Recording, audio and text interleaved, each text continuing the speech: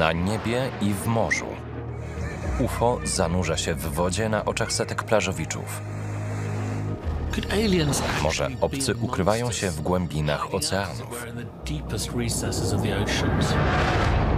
Niesamowita wyprawa Nila Armstronga do biblioteki obcych w dżungli.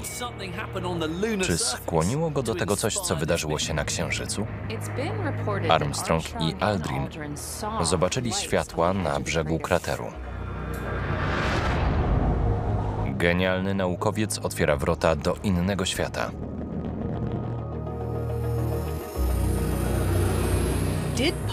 Czy Parsons rzeczywiście nawiązał kontakt z istotami z innego wymiaru?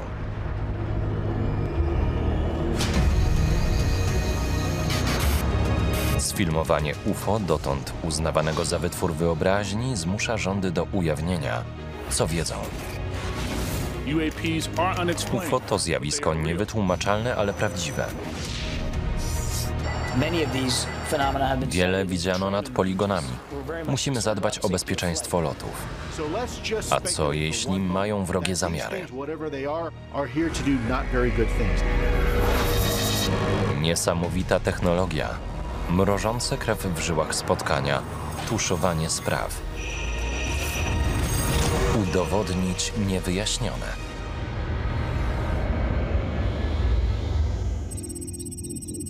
Niektóre z opisanych wydarzeń nie zostały sfilmowane, zrekonstruowano je przy użyciu innych nagrań z tamtego okresu.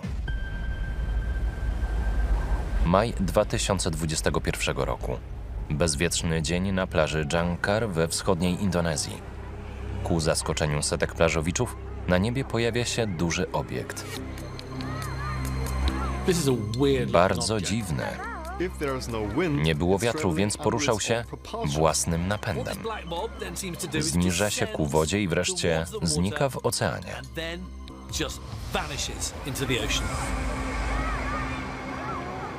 Nie słychać żadnego uderzenia, po prostu wślizguje się do wody, nie tracąc prędkości. Takie obiekty były wykrywane przez sprzęt wojskowy w przeszłości.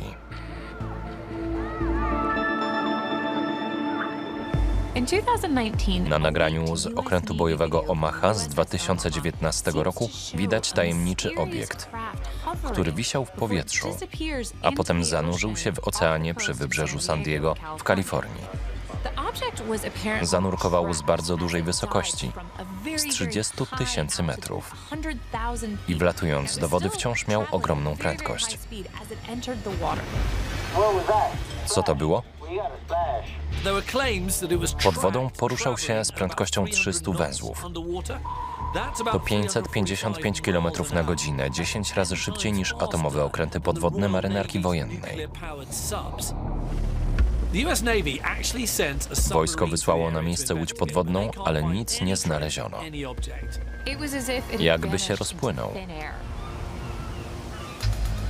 Takie obiekty Pentagon określa mianem transmedialnych.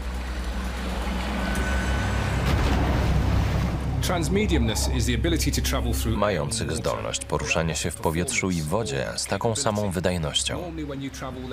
Normalnie przy przejściu z powietrza do wody pojawia się opór, przez który się zwalnia. Nawet światło zwalnia w wodzie. Woda jest 800 800 razy gęstsza niż powietrze. Żeby się przez nią przebić, potrzeba wielkiej mocy. Gdyby myśliwiec próbował wlecieć do wody, rozbiłby się przy uderzeniu o jej powierzchnię. W 2004 roku miało miejsce zdarzenie w pobliżu lotniskowca Niemiec.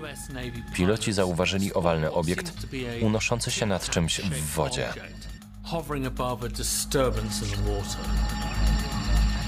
Tuż pod powierzchnią znajdował się drugi obiekt w kształcie krzyża.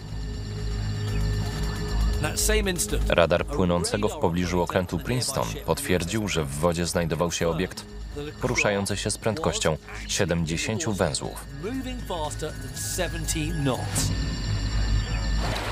Badacze nazywają takie obiekty niezidentyfikowanymi obiektami zanurzonymi. USO. Są podobne do UFO. Poruszają się tak, jak ludzkie obiekty nie są w stanie i to pod wodą. Jako pierwsi USO zobaczyli japońscy rybacy w 1957 roku. Potem były widziane wielokrotnie, często poruszające się z ogromną prędkością. Niektóre osiągały pod wodą prędkość dźwięku. To poza naszym zasięgiem. Były dowódca francuskich tajnych służb twierdzi, że zarejestrowali obiekt, który poruszał się jeszcze szybciej. Prędkość dźwięku w wodzie 3000 to miles per 5000 km na godzinę. Te obiekty poruszają się pod wodą z naddźwiękową prędkością i natychmiastowym przyspieszeniem. Jak to możliwe? Taki obiekt mógł przemierzyć cały glob pod wodą w zaledwie 8 godzin. Światowe supermocarstwa wydają rocznie setki miliardów na budowę tajnych, ultranowoczesnych samolotów. Można przypuszczać, że finansują również technologię podwodną. Podobno USA i Chiny pracują nad naddźwiękowymi łodziami podwodnymi wykorzystującymi technologię superkawitacji. Zanurzony obiekt porusza się w bąblu powietrznym, który eliminuje opór. Bąble napotykają w wodzie znacznie mniejszy opór niż sam obiekt, więc jeśli utworzy się bąble na czole obiektu, żeby otoczyły go całego, będzie mógł się szybciej poruszać. Then that object should be able to move faster.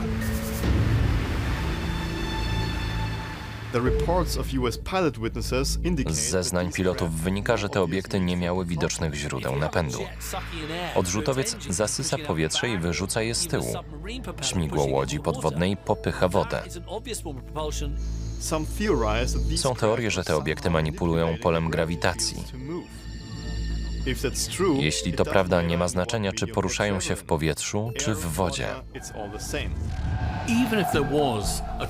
Nawet jeśli powstają tajne naddźwiękowe łodzie podwodne, tu mamy obiekty transmedialne, które latają, a potem pływają.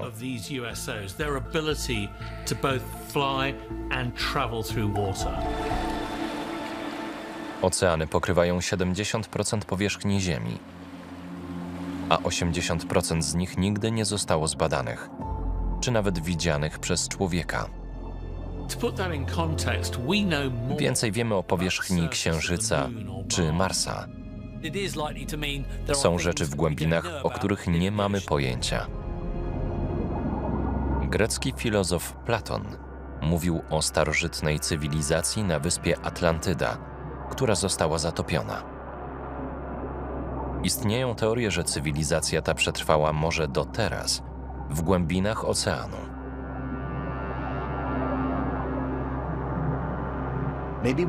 Może nie jesteśmy sami na tej planecie. Może istnieje gatunek starszy od ludzkiego.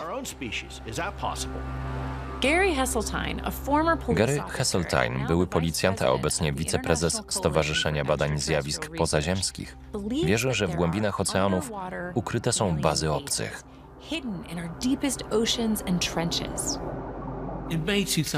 W maju 2022 roku w kongresie odbyło się pierwsze od 50 lat przesłuchanie na temat niezidentyfikowanych obiektów.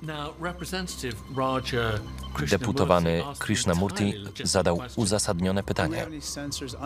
Mamy pod wodą jakieś czujniki do wykrywania podwodnych obiektów?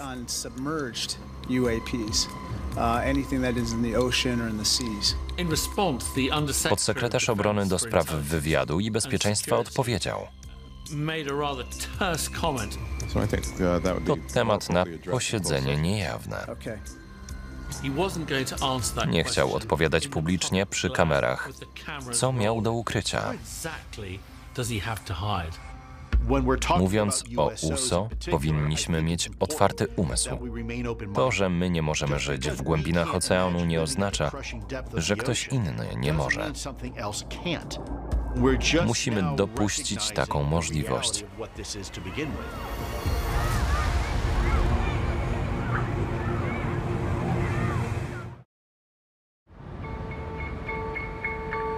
Sierpień 1993 roku Melbourne, Australia. Kelly Cahill i jej mąż jadą do przyjaciół. To, co dzieje się później, jest tak niesamowite, że 30 lat później jest nazywane świętym gralem uprowadzeń.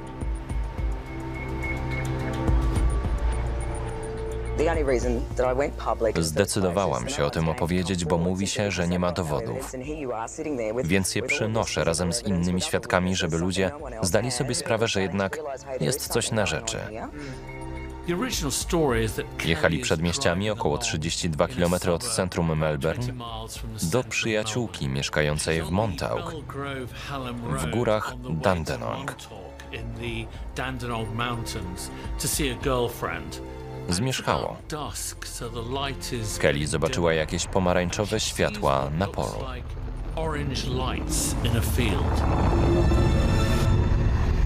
Kilka godzin później wracali tą samą drogą. Zobaczyli wtedy jakiś obiekt kilometr przed sobą, który wisiał nad drzewami.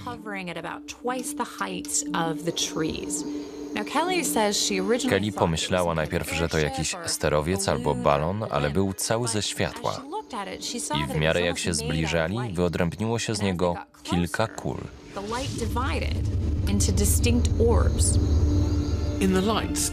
W świetle Kelly widziała sylwetki jakby ludzkie. Odwróciła się do męża, żeby mu o tym powiedzieć. I wtedy obiekt przeleciał obok nich. Przejechali kilometr lub dwa i zobaczyli coś, co Kelly opisuje jako ekran albo ścianę świateł.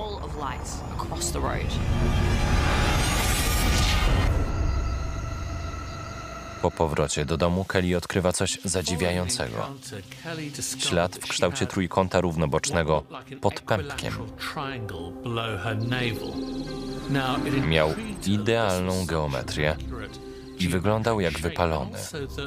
Choć Kelly nie pamiętała żadnego bólu. Dziwna seria wydarzeń, a to był dopiero początek. Po kilku tygodniach Kelly przypomniała sobie, że tamtej nocy wyszła z samochodu i że 100 metrów od nich na drodze stał inny samochód. Ludzie z tamtego samochodu razem z Kelly i jej mężem poszli przez pole i zobaczyli olbrzymi statek, który wprawił ich w osłupienie.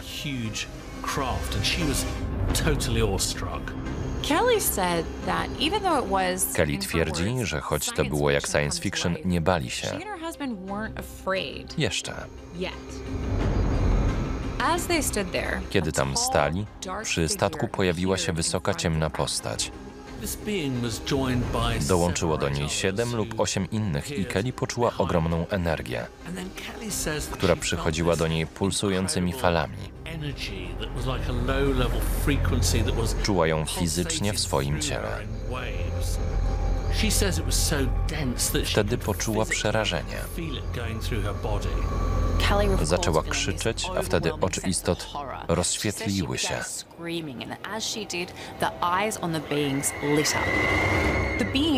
Istoty zaczęły się zbliżać, podzieliły się na dwie grupy. Jedna pozostała w oddali, druga szła prosto na Kelly. Kiedy do niej dotarli, poczuła silne uderzenie w brzuch, które powaliło ją na ziemię. Myślała, że umrze. Wiedziała, że jeśli się nie podniesie, będzie po niej. Ale kiedy otworzyła oczy, było ciemno. Nic nie widziała.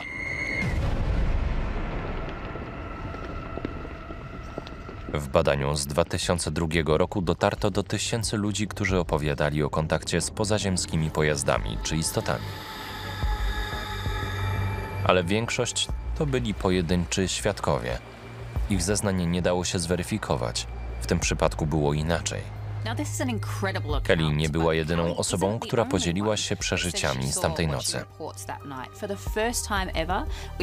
Są inni świadkowie, którzy twierdzą, że widzieli to samo. Glenda, Jane i Bill, używający tych wymyślonych imion dla zachowania anonimowości, również jechali tamtędy tamtej nocy. Ich rysunki były niemal identyczne z rysunkami Kelly. Wszystkie przedstawiały krąg ze świateł na górze pojazdu, biegnące w dół linie, formujące na ziemi rodzaj półokręgu.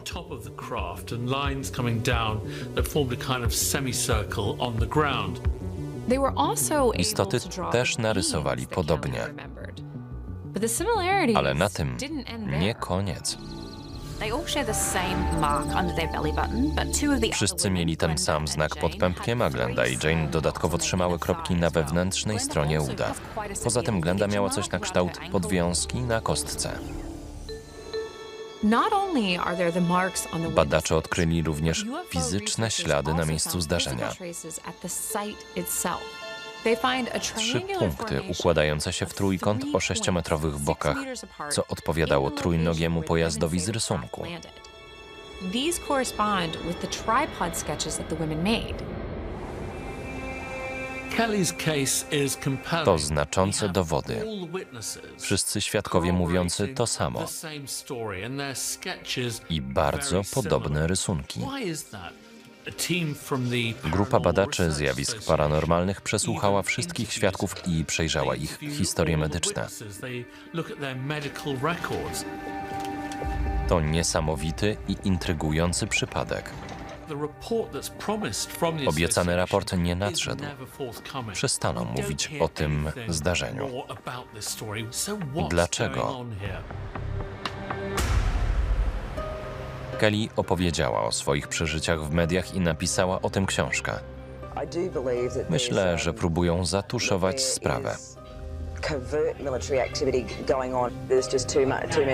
Jest wiele tajnych dokumentów o UFO, których rząd nie chce ujawnić. Jeśli UFO nie istnieje, po co te tajemnice? Australijscy badacze tłumaczą, że nie ujawnili raportu, bo świadkowie nie zgodzili się na włączenie do niego ich danych medycznych. Były też wątpliwości co do wiarygodności zeznań Kelly. Pojawili się sceptycy.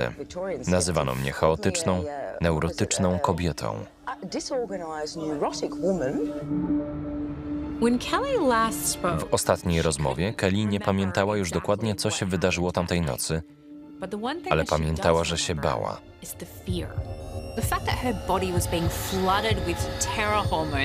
Może przerażenie miało wpływ na wspomnienia. Pamięć ma generatywny charakter. Opiera się na tym, co wiemy i czujemy teraz i co czuliśmy kiedyś. Za każdym razem wspomnienie jest trochę inne. Dowiedziono, że z łatwością można zaimplementować fałszywe wspomnienie, które wydaje się rzeczywiste.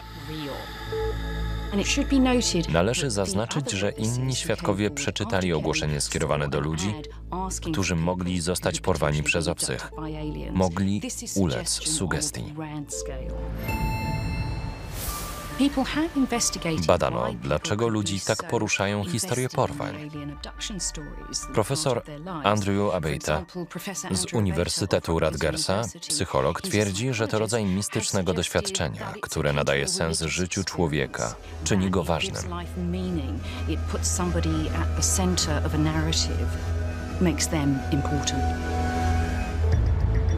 Naukowcy chcą, żeby upubliczniono raport z wydarzeń w Australii. Bo może on dowieść, że to jedna wielka pomyłka. Albo, że możemy paść ofiarą rozwiniętej inteligencji, która może nas więzić i poddawać torturom. Bez względu na to, czy wierzymy w historię Kelly, czy nie, powinniśmy dowiedzieć się więcej. Może wydarzyło się wtedy jeszcze coś, co trzeba zbadać.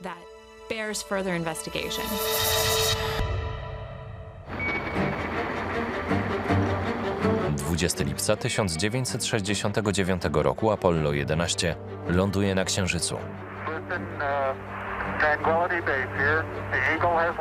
The moon mission, of Ta misja is jest jednym z największych osiągnięć człowieka. Astronauta Neil Armstrong tworzy historię. To mały krok dla człowieka, ale wielki Skok dla ludzkości. W 1976 roku Armstrong wyrusza w kolejną niebezpieczną podróż. Wraz ze szkockim inżynierem Stanem Hallem i grupą badaczy udaje się na poszukiwanie systemu jaskiń w ekwadorskiej dżungli w południowej Ameryce.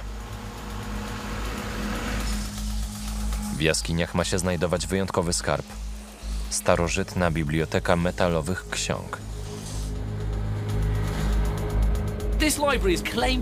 Teksty miały być wyryte w metalu w obcym języku i opisywać 250 tysięcy lat historii. System jaskiń znany jest jako Cueva de los Tallos.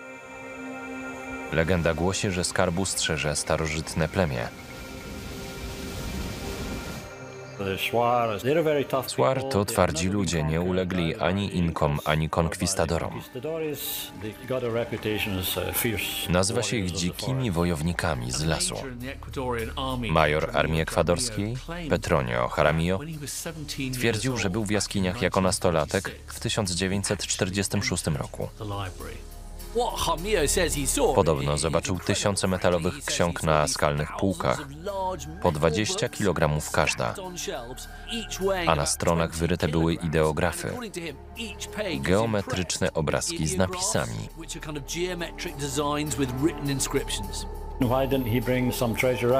Dlaczego niczego stamtąd nie zabrał? Podobno bardzo trudno było się tam dostać.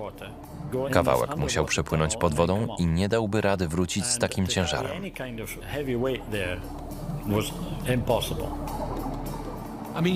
Dlaczego najsłynniejszy astronauta świata zaangażował się w coś takiego? Czy skłoniło go do tego coś, co wydarzyło się na Księżycu?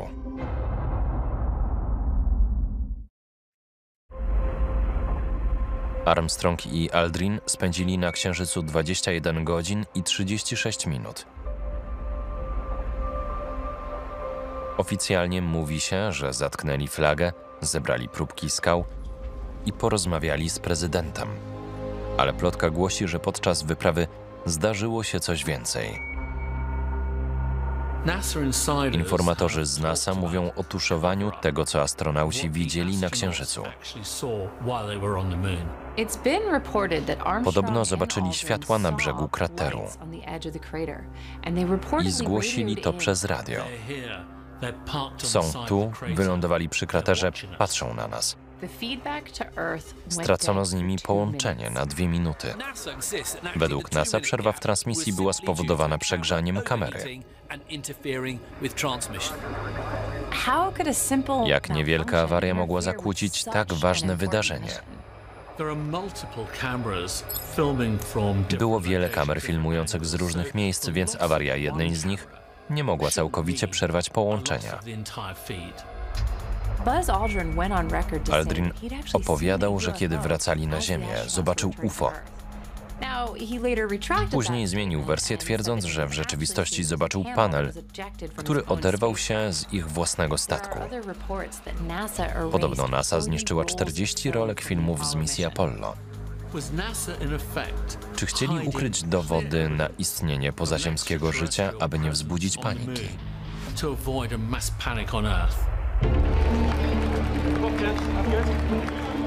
Cokolwiek zdarzyło się na Księżycu, Armstrong stał się sławny i w 1976 przyłączył się do wyjątkowej wyprawy. Znał się na geologii, był na Księżycu, więc pomyślałem, że może zostać dowódcą wyprawy. Wyśmiali mnie, nie wierzyli, że się zgodzi. A on odpisał, że to będzie dla niego wielki zaszczyt.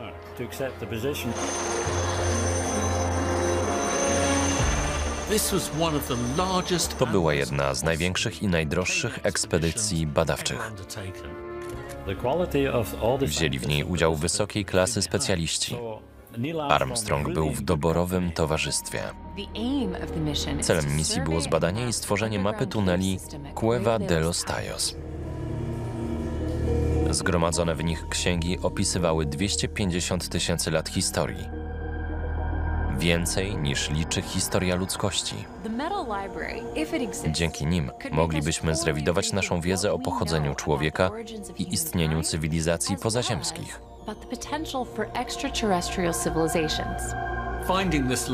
Mogłyby udowodnić, że obcy rzeczywiście odwiedzili Ziemię. Ale najpierw Armstrong i jego towarzysze musieli pokonać teren równie trudny, jak ten na Księżycu. Musieli przedzierać się przez gęstą dżunglę pełną jadowitych stworzeń i poruszać się w niezbadanym labiryncie jaskiń. Armstrong nie miał i nie chciał żadnej taryfy ulgowej. Po prostu zaczął schodzić po wąskiej drabince w głąb jaskini. Weszli do jaskiń i przemierzali komnaty wysokie jak katedry. Oniemiali z wrażenia. To był zupełnie inny świat.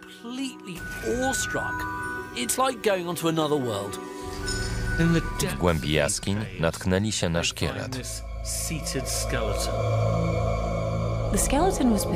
Był w takiej pozycji, że w czasie przesilenia letniego przenikały przez niego promienie słoneczne. Ktokolwiek zbudował chamber tę komnatę i umieścił tam szkielet, miał obszerną wiedzę astronomiczną.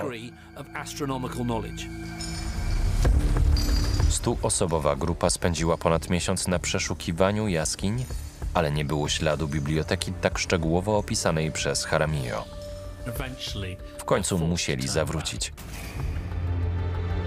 Armstrong wrócił do Ameryki, ale Hall nie pogodził się z porażką. Nie poddał się i kontynuował poszukiwania. W 1991, 1991 roku odnalazł Petronia Jaramillo, który mógł wskazać dokładne miejsce. Przez telefon powiedział: Panie Hall, wreszcie możemy się poznać. Zgodził się pokazać jaskinię, ale w 1995 roku wybuchła wojna na pograniczu Ekwadoru i Peru. I Hall musiał wrócić do Wielkiej Brytanii. Niedługo potem dostał druzgocącą wiadomość. Plany ekspedycji legły w gruzach w 1998 roku, kiedy Jaramillo został zabity. Czyżby zabrał tajemnicę metalowej biblioteki do grobu? Armstrong nie chciał rozmawiać o ekspedycji do jaskiń i o tym, co się wydarzyło na Księżycu podczas dwóch minut przerwy w transmisji.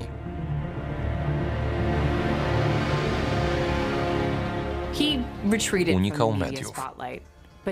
Ale w 1994 roku wydał tajemnicze oświadczenie. Istnieją nieodkryte obszary dostępne dla tych, którzy potrafią przebić się przez warstwy skrywające prawdę. Są rzeczy niemożliwe do objęcia rozumem.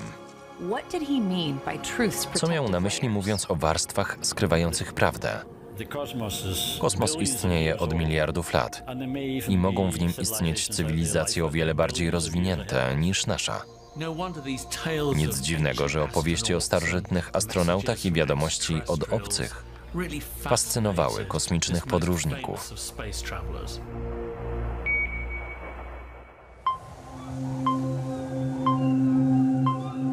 Styczeń 2022 roku. W starym walijskim mieście Milford Haven seria dziwnych zdarzeń zbiega się z pojawieniem się dziwnego obiektu na wybrzeżu. 93-letnia kobieta zobaczyła duży, okrągły i błyszczący pojazd. Powiedziała, że wynurzył się z wody, zawisnął nad zatoką i wystrzelił do nieba. Kilka dni później inna mieszkanka miasta, Izabela Cooper, zobaczyła ten sam obiekt. Zanim odleciał, zdążyła zrobić zdjęcia. Opisała go jako jasno-niebieski, okrągły obiekt, który wisiał kilkaset metrów nad ujściem rzeki. Zeznania uznano za niedorzeczne, ale tylko na początku, bo potem zaczęły się dziać naprawdę dziwne rzeczy. Pewnego ranka ludzie mieszkający nad samym morzem zobaczyli na plaży setki tysięcy martwych ryb.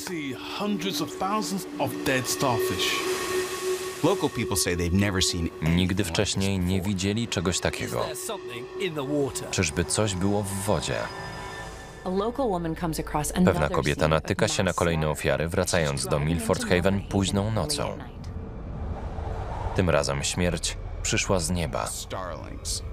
Tysiące martwych szpaków na drodze. Tuż przedtem mieszkańcy zobaczyli jasny błysk i usłyszeli głośny huk. I nie były to błyskawica i grzmot. Jeden ze świadków usłyszał huk i martwe ptaki zaczęły nagle spadać na jego samochód. Takie same zgłoszenia spływały od wielu ludzi. Policjanci przybyli na miejsce i zebrali 10 worków martwych szpaków. Jaki to ma związek z obiektem na niebie? Co dziwniejsze, to nie pierwsze spotkanie mieszkańców Milford Haven z UFO.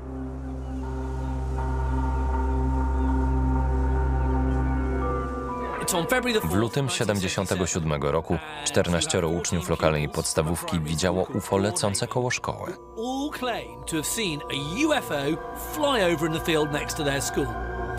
Nauczyciel nie dowierzał i poprosił, żeby narysowali, co zobaczyli, każdy z osobna.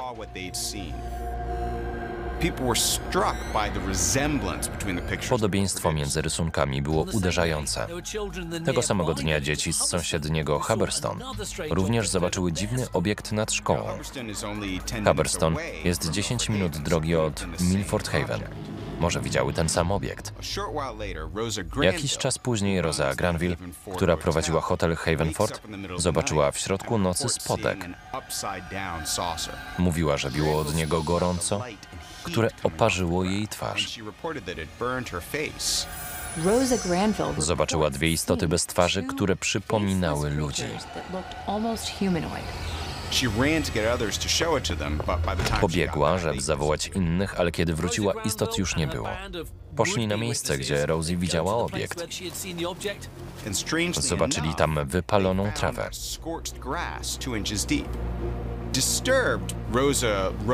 Rosie napisała do lokalnego przedstawiciela Izby Gmin, który zgłosił sprawę do Ministerstwa Obrony. Oficer RAF przyjechał na miejsce zdarzenia, ale szybko wyjechał. Potem dziwne wizyty UFO ustały.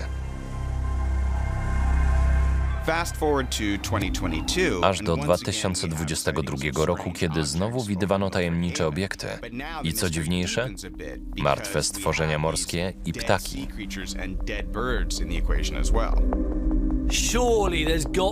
Pewnie jest jakieś logiczne wytłumaczenie. Kluczowe wydaje się położenie Milford Haven, które nie jest tak spokojnym miejscem, jak się wydaje.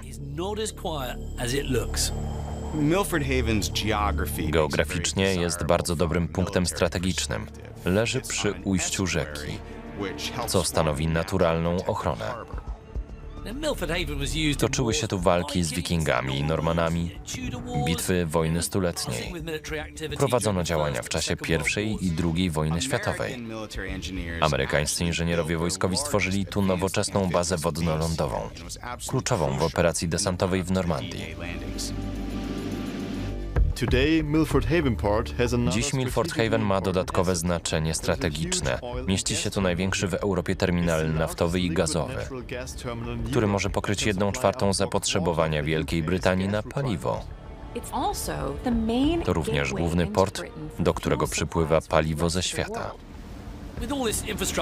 Przy tak ogromnej infrastrukturze konieczna jest ochrona i tajemnicze obiekty mogą mieć z tym coś wspólnego.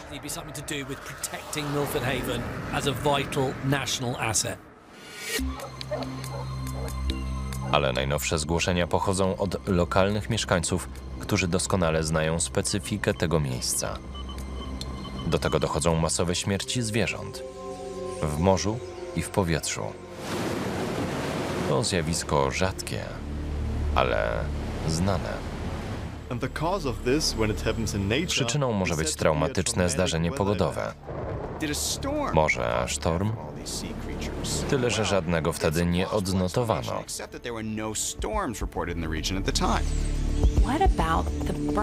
A co z ptakami? Słyszano huk. Mógł sprawić, że ptaki straciły orientację i uderzyły w ziemię.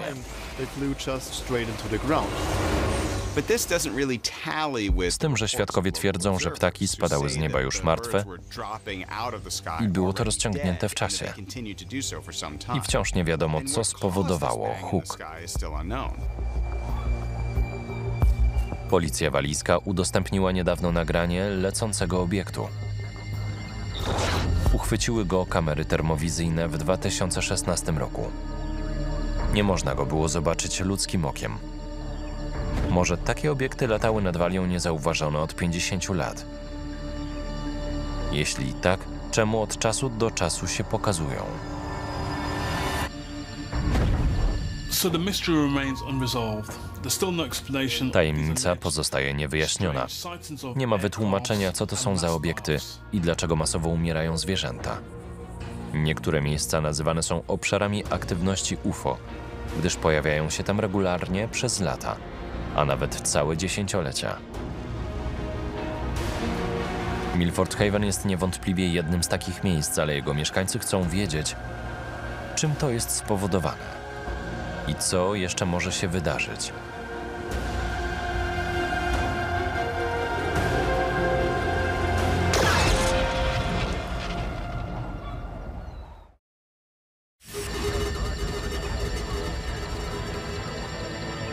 UFO kojarzy się z czymś z innego świata, ale prawda może być bardziej ponura.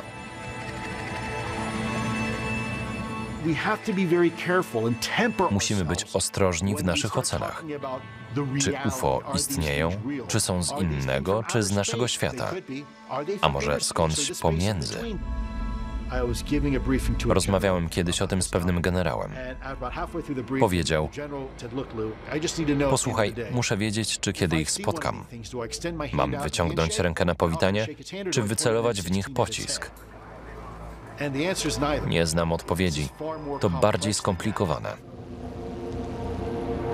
Niektórzy snuli teorię, że pasażerowie UFO to demoniczne istoty z równoległego wymiaru. Fizyk teoretyk dr Fred Alan Wolf twierdzi, że w równoległym wymiarze, który przecina nasz, istnieje kwantowy świat duchów. Żeby to lepiej zrozumieć, musimy się cofnąć do początków NASA i sił powietrznych USA i przywołać rewolucyjnego naukowca tamtych czasów. Jack Parsons był amerykańskim inżynierem napędów rakietowych i chemikiem. W 1934 roku Parsons i jego koledzy z Kalifornijskiego Instytutu Technicznego stworzyli grupę badającą paliwa rakietowe. Pięć lat później stają się pierwszym zespołem badawczym w Ameryce finansowanym przez rząd. Stworzyli silnik odrzutowy dla armii amerykańskiej. Parsons opracował też paliwo rakietowe z nielimitowanym okresem trwałości. To był przełom. Paliwo zasilało pociski Minuteman, rakiety Titan i promy kosmiczne. Parsons współtworzył również laboratorium napędu odrzutowego NASA w Kalifornii.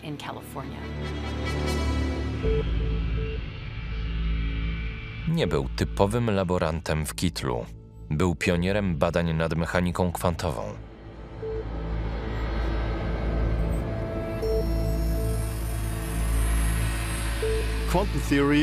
Teoria kwantowa to poważna nauka, ale niektórzy dopatrują się w niej magii. Cząstka nie musi być tu albo tam. Może być jednocześnie w kilku miejscach. Do dziś dnia nie ma kompleksowej teorii wszystkiego. Teoria względności Einsteina i mechanika kwantowa wyjaśniają działanie różnych części wszechświata, ale nie są kompatybilne.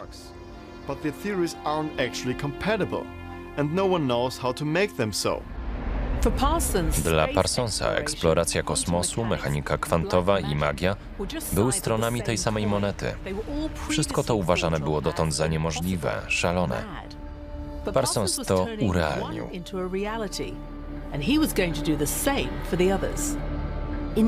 W 1949 napisał: Jeśli zdołałem stworzyć napęd odrzutowy, wartą miliony korporacje i nowoczesne laboratorium badawcze, może mogę wykorzystać swój geniusz również na polu magii. Aby zrealizować swój dziwaczny plan połączenia fizyki i metafizyki w jednolitą teorię wszystkiego, Parsons nawiązał kontakt z brytyjskim satanistą Alisterem Crowleyem.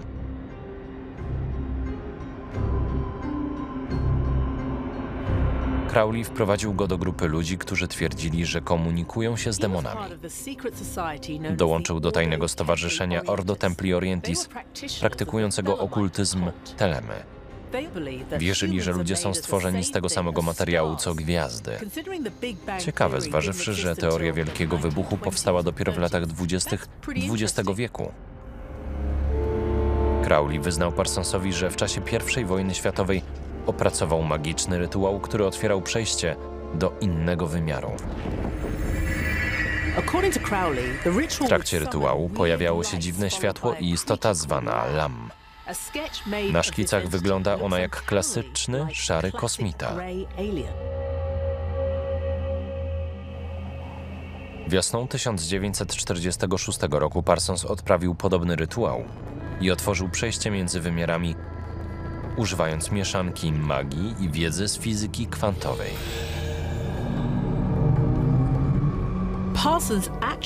Chciał się sparować z obcą istotą i spłodzić nowy gatunek księżycowe dziecko. Parsons stwierdził, że rytuał zakończył się sukcesem. Rok później, w 1947 roku, miało miejsce pierwsze spotkanie z UFO w nowoczesnym świecie. W czerwcu pilot Kenneth Arnold zobaczył dziewięć tajemniczych obiektów poruszających się z prędkością 2000 km na godzinę nad Mount Rainier w stanie Waszyngton. To był początek nowej ery UFO. Pierwsze oficjalne raporty o UFO. Pilot Kenneth Arnold zobaczył dziewięć spotków lecących 2000 km na godzinę. Czyżby Parsonsowi udało się zwrócić uwagę pozaziemskich istot? Pod koniec II wojny światowej siły powietrzne USA liczyły 63 tysiące samolotów. Ich piloci mieli największe szanse na spotkanie UFO. Już w 1952 roku powstał projekt Błękitna Księga, którego celem było wyjaśnienie, czym jest UFO.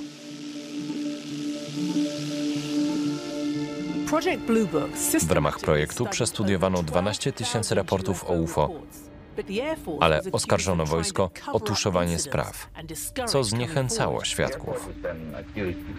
Podobno armia ukrywa informacje dotyczące UFO. To nieprawda. Nie ma nic do ukrycia. Projekt zarzucono w 1969 roku. Może nie chcieli, żeby świat dowiedział się, co znaleźli w raportach.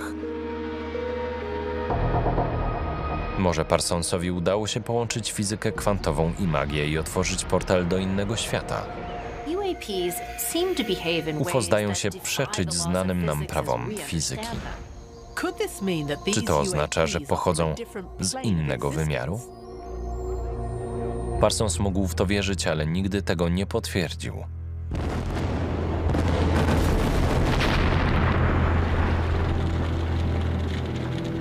Według policji zginął tragicznie podczas mieszania materiałów wybuchowych, ale niektórzy twierdzą, że odprawiał okultystyczny rytuał. Jego dzieło zapoczątkowało amerykański program kosmiczny, a może nawet otworzyło wrota istotom z innego wymiaru. Może prawdę odkryjemy dzięki teorii kwantowej. Wciąż nie rozumiemy wielu rzeczy. A teoria kwantowa łączy w sobie naukę i mistycyzm. Tekst Katarzyna Miszczak czytał Marcel Borowiec.